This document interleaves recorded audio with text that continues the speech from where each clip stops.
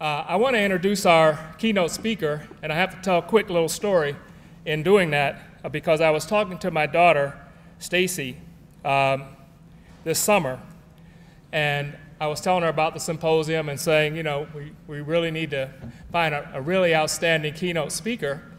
And my daughter's in New York. She's at, in graduate school at Columbia, and she works uh, for Nike as well. And uh, she said, You know what? I was at this event recently, and I heard this fellow, uh, Miguel McKelvey, speaking, and he's with an outfit called WeWork, and I think they just raised like a billion dollars, and they, they really uh, are really fast growing uh, dynamic company. And he, in particular, spoke very well about what they're doing to empower entrepreneurs in these urban settings. And they're like in 17 different cities and so forth. So she was telling me all this stuff. I didn't know about WeWork before this conversation with my daughter, but the more I learned about it, I said, wow, this is really an impactful company that's doing work in the urban space, empowering urban entrepreneurs. And so uh, I said, you know what? Uh, I would love to have this guy come, but I don't know him. And uh, my daughter has like 61,000 followers on Instagram, and she said, Miguel is following me.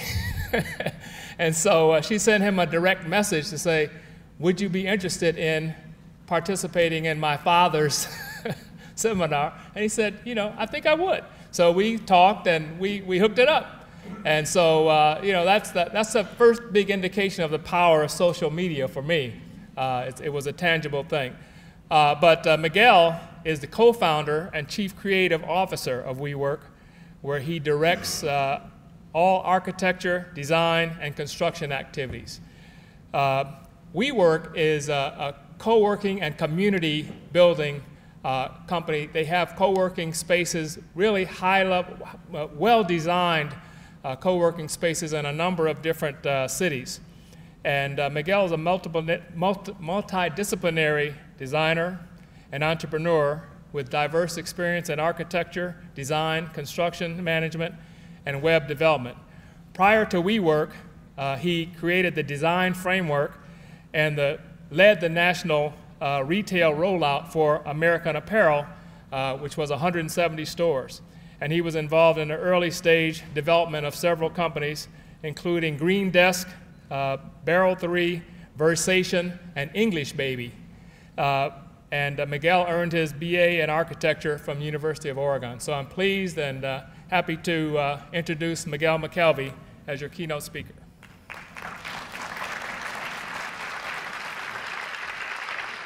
Hello, good morning. Um, you guys are far away, so I'm going to stand as close as I can. Um, you know, I'm an outsider to Detroit. Obviously, uh, I'm not from here, but I've been coming here relatively regularly, um, at least once a year, it seems, since about 2005 when uh, I started working with American Apparel. And, um, you know, as an outsider, I have to say that it's a pretty extraordinary time uh, for you guys and for the people who are here because, you know, in 2005, I was coming here looking for a location for an American Apparel store. And I, I tried really hard. I met with all the people I could to try to understand, you know, is there a place, is there a, a location? We did a lot of non-traditional locations for retail back then, and we were working hard to try to find a place where um, we could sort of, you know, ignite something. Um, and it was tough. It, it, unfortunately, I couldn't convince anyone um, that there was a certain street that was about to turn over, that was about to come that, that next spot. So we ended up doing stores in Royal Oak and Ann Arbor and East Lansing. And um, it was it always felt like you know I had some regret related to that because I felt like even one store like American Apparel coming to um, Detroit could have been something, and who knows what would have followed. But um, the thing that's amazing now is that you know looking at it and coming here, the energy level is totally different.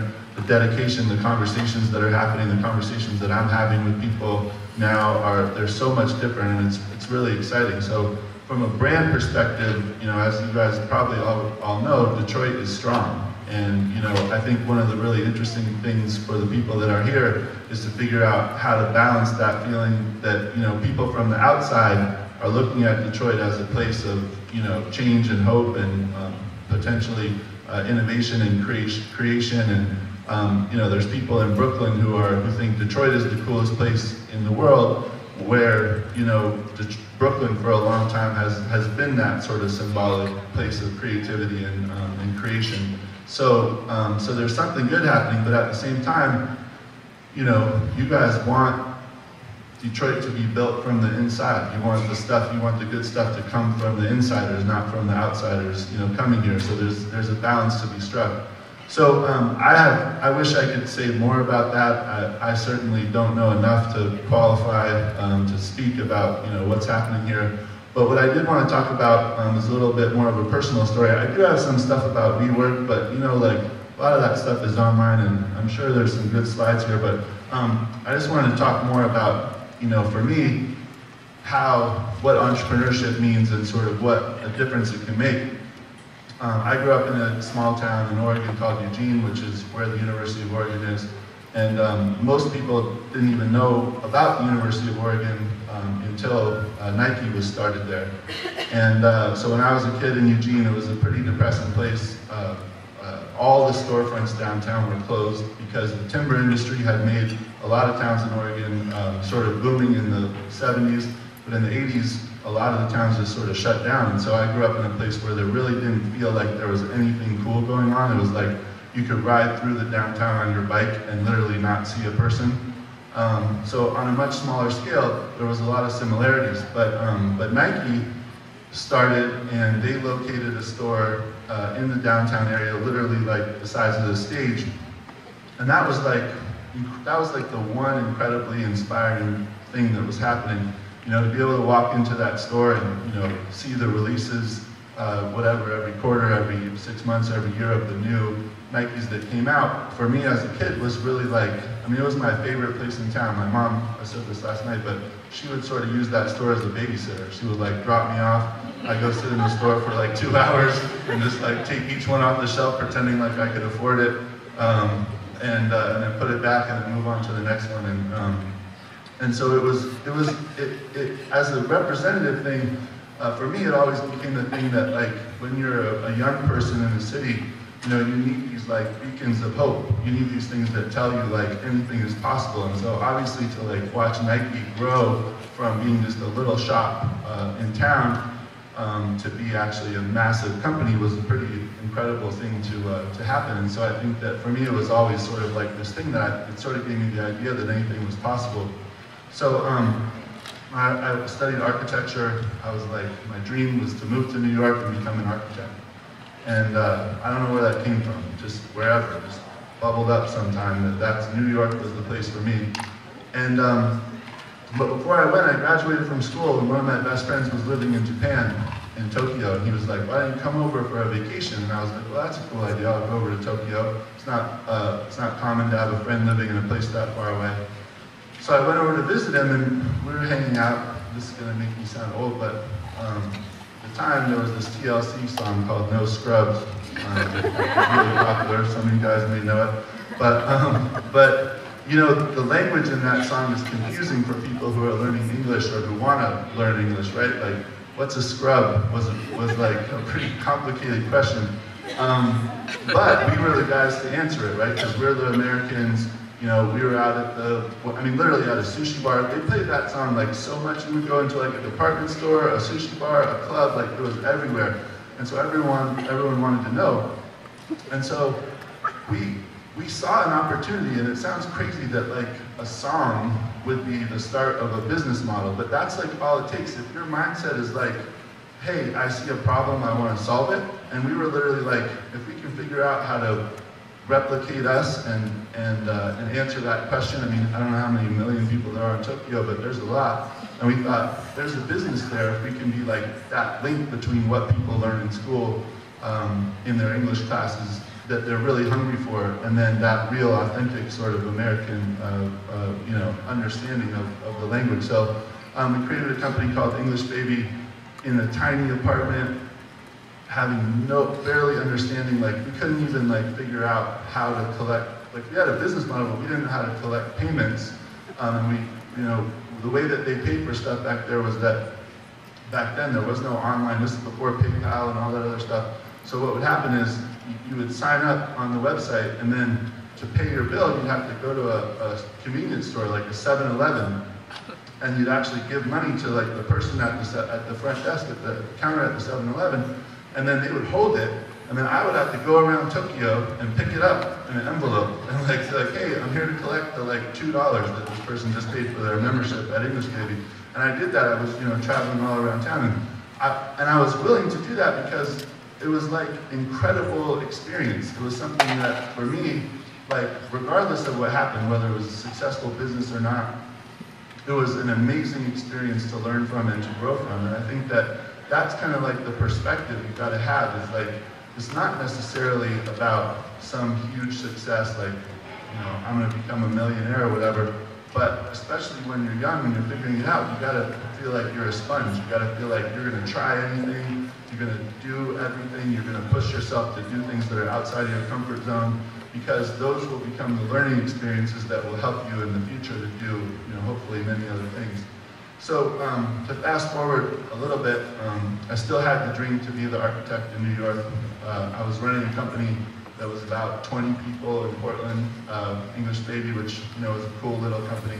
But I still had this need to, to go to New York, and so I started applying for jobs um, as an architect. But I hadn't worked in architecture for you know four and a half years, and so no one was responding to, to, to my resume. I also said I lived in Oregon, so you know no one, no one wants to hire someone from all the way across the country. So um, at one point, one of my friends was like, "Hey, you know, I don't think anyone's going to respond to you, um, but you should, you know, lie and say that you live in New York and see what happens.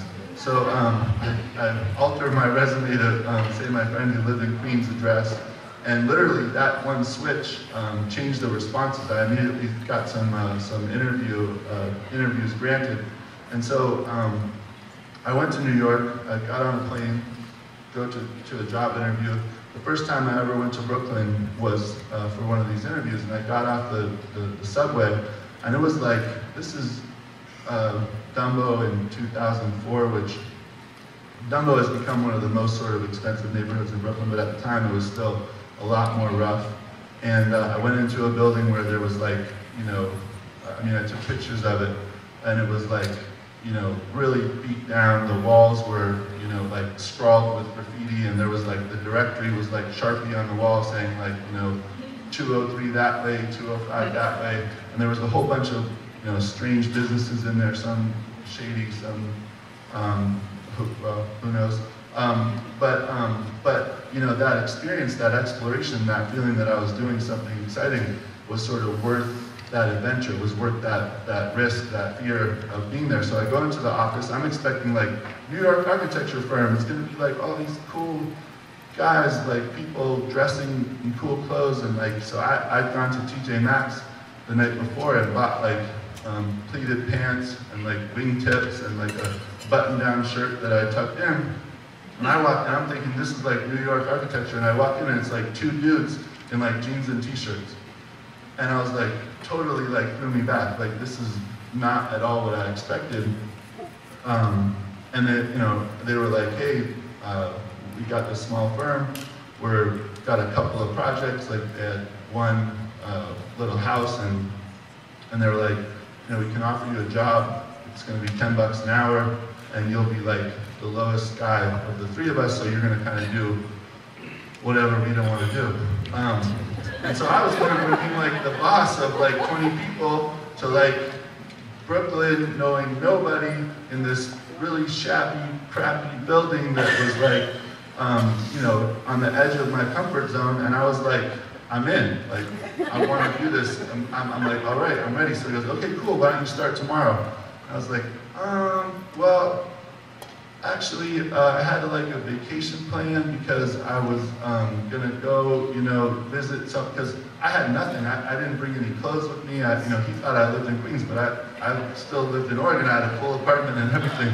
So I, I negotiated with them to start instead of that Thursday, which was the next day to start on Monday. And so I, I literally like flew back that night, went back, packed up. My mom came up, packed up my whole apartment, put it in the back of her car, and um, I flew to New York that that uh, that Sunday night with like a, a duffel bag, and um, that was like 11 years ago. Um, and uh, and so I, I I started there on Monday morning, and literally just by incredible chance, uh, that firm ended up getting the contract to do uh, the American Apparel uh, stores, and that started with one, and then two, and then three, and all of a sudden it just exploded into uh, an endless number. And so, because I had business experience but very little architecture experience, I kind of became more of a, a business person, a developer of, of, of retail stores. And so, um, you know, it's just one of those things where I went from, like literally on the first day, I was like, I fixed the sink because it had a drip. I like organized a bunch of notebooks. Um, I had to go to the hardware store and buy some like shelf brackets to like hang up some shelves in the office. And, and, and I was willing to do that um, because I felt like it was building towards something bigger. Like I felt like everything that I did, every small step was going to be towards something more meaningful in the future. And, um, and so, you know, within the span of about three months, everything had changed. I had gone from being like really the, the lowest person doing whatever kind of um, crappy work someone wanted me to do to being responsible for my own projects, um, you know, a few million dollar budget to build out a store in Brooklyn. And then from there, I just, I, I, went to, I was traveling the world. I went to pretty much every city in the United States to look for American Apparel locations. I was, you know, in London and Tokyo and Paris. And so it just sort of like, for me, it was a real um, important thing to go through that process of just being willing to let everything go. All of my sort of expectations, all my, you know, um, feelings like perception from my parents, from my friends, from everybody about what I was doing and just do what felt, you know, right for me, what felt true to who I was. And so, um, similar thing happened with WeWork, and again, um, the whole slides are gone and everything, but, um, but I was in this building in Brooklyn, and uh, you know, it was it was a cool building. It was full of like a lot of a lot of businesses doing cool stuff. A lot of people who were like, like there was this woman I remember who just loved hats, you know, and she was like, I'm gonna become a hat maker. And I mean, who wears hats? I mean, some people do, but she was like, I'm all about hats. And so she started a company that was, you know, making like the coolest hats in Brooklyn. And you know, she she had a tiny little space, like you know, the size of half of the stage. And she was all about it. You know, she came in every day, she busted her ass to like, you know, make the coolest hats that she could make. And I think that that sort of spirit was so apparent amongst all of the, um, these people, but there was nothing that was helping them. There was no, you know, when the internet went down, in that building, no one cared. Like the landlord wasn't helping you. So this woman making hats or whoever the business was would spend, you know, half their day trying to solve their internet problem. They're on the phone with Verizon or whoever, AT&T, trying to, trying to solve problems. And so what we realized was that for a lot of people, for entrepreneurs, for startups, they spend a lot of time doing stuff that really doesn't help them grow their business, that's not core to what they want to do.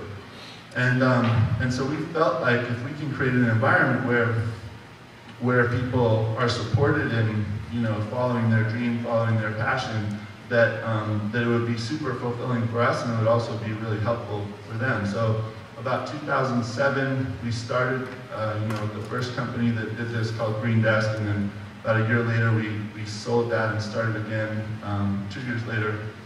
And so we WeWork became really a, a, home for people who are, you know, in that mindset of like, I want to bring something new to the world. I want to do something for me I want to find a way to follow my passion and my dream.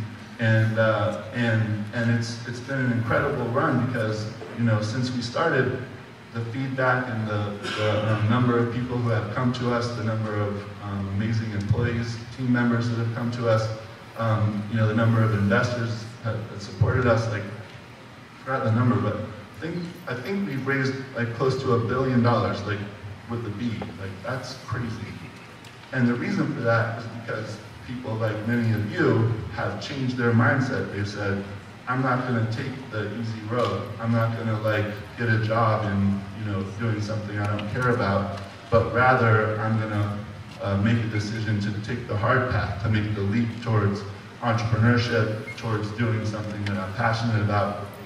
And because we've created an environment that makes that easier, um, we're just, we're trying to satisfy the demand. I mean, we have about 33,000 people, 35,000 people across the world now. And a lot of people will say, oh, that's so many people, that's big. And I'm like, 35,000, there are like 30 million people right now who are in this mindset, and they're everywhere. everyone is changing from this, you know, uh, feeling of sort of having a job just to like pay the bills to like having a job to do something that they care about and, that, and that's meaningful to them. So we think it's just the start of a major global shift of a, of a revolution, and I think that you know, the reason why we're particularly excited um, about Detroit is that, again, where you may not feel it if you're here as much as we feel it from the outside, but we feel like Detroit is the real sort of symbolic um, city for, for that sort of, you know, uh, entrepreneur story and for that entre entrepreneur uh, spirit. So um, we think that, you know, it's not going to be long before um, things really or I think they're already happening, but that they continue to happen, and that all these things that people are talking about are really going to come true, and that um, you know it's going to be held up as as an example of, of an incredible uh, you know renewal and, and change uh, through the effort and talent and and, uh, and passion of people who were determined to make a difference. So um, I'm happy to you know um, hopefully play a tiny, tiny, tiny part in that. Um, and I'm, I'm super excited to you know spend more time here and, and to learn as much as I can to, to, to do a part, um, to do my part. So um, I don't know how much time we have left. Thanks a lot for having me. And uh, if you have any questions, it would be I'd be happy to answer um, anything about anything. I've been asked to speak at a thing in Chicago in two weeks, and the topic they asked me to speak on, which I, I, I went ahead and changed, was saying the upside of gentrification. And I